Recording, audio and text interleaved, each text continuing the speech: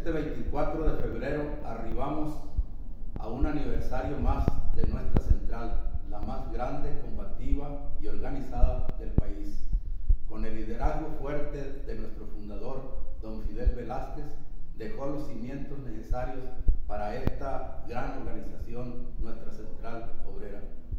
Continuando los liderazgos de don Leonardo Rodríguez Alcaine, don Joaquín Gamoa Pascor, y hoy bajo el lema, bajo el nuevo lema de unidad y trabajo que encabeza nuestro líder nacional, don Carlos Aceves del Olmo.